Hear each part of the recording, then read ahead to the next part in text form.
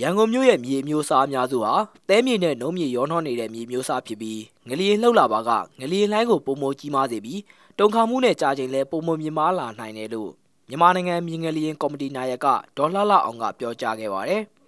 စက်တင်ဘာလ25ရက်နေ့ကရန်ကုန်မြို့တက်မတော်ခမ်းမမှာပြုလုပ်တဲ့မြင်းငလျင်ဘေးကြောင့်ထိခိုက်ဆုံးရှုံးနိုင်ခြင်းနဲ့ဘေးကင်းလုံခြုံသောဆောက်လုပ်မှုဆိုင်ရာအလေးကျင့်များအကြောင်းဆွေးနွေးပွဲမှာ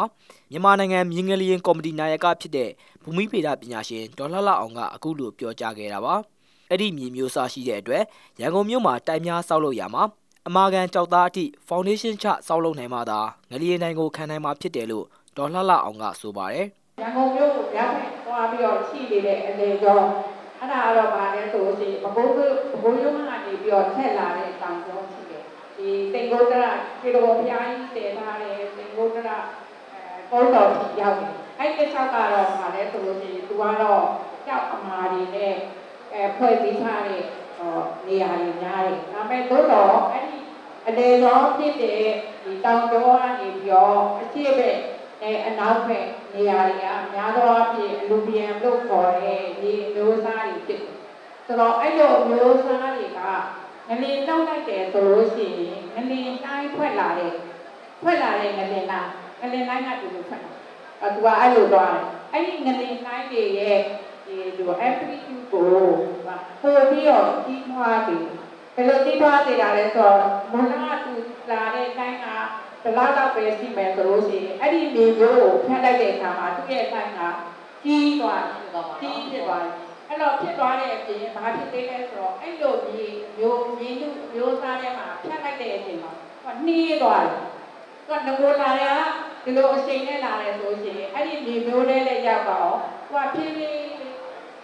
ပိုကြပြီးတော့နေတဲ့ခါကျတော့တုံခါမှုကဒီအမားမှာတုံခါလာတဲ့ရေမိုးစားမှာတုံခါလာကပို့ပြီးတော့တုံခါမှုများတယ်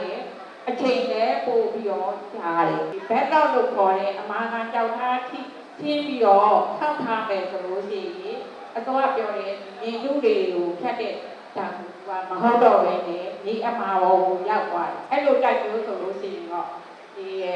ဝင်းတုံးလို့ခေါ်တယ် scientific လို့ခေါ်တယ်အဲ့ဒါမျိုးအနိုင်တဲ့အနေအထားဖြစ်သွားတယ်ပေါ့နော်ဒါအပြင်အစောအဦးဆောက်လို့ရမှာ ဘူမိဗေဒပိုင်းဆိုင်ရာအချက်လက်တွေကိုမြေပုံထုတ်ပြီးတေချာဆောင်ရွက်နိုင်မှသာဘေးကင်းလုံခြုံတဲ့အစောအဦးမျိုးကိုဆောက်လုပ်နိုင်မှာဖြစ်တယ်လို့လည်းဒေါ်လှလှအောင်ကဆွေးနွေးပွဲမှာထည့်သွင်းပြောကြားသွားပါတယ်အဆိုပါဆွေးနွေးပွဲကိုရန်ကုန်မြို့တက်မတော်ခမ်းမမှာဒဂုံ Excavation ကပြည်မှုပြုလုပ်နေတဲ့ Housing and Building 2060ပွဲမှာထဲသွင်းပြုလုပ်ခဲ့တာဖြစ်ပြီးဆွေးနွေးပွဲမှာမြန်မာနိုင်ငံမြေငလျင်ကော်မတီနာယကဒေါ်လှလှအောင်နဲ့အတွင်းရင်မှုဦးစောထွေးစော်တို့ကဆွေးနွေးခဲ့တာဖြစ်ပါတယ်။ အဲ့ဒီဆွေးနွေးပွဲမှာပြီးခဲ့တဲ့လပိုင်းကဗကံဖျားတွေကိုပျက်စီးစေခဲ့တဲ့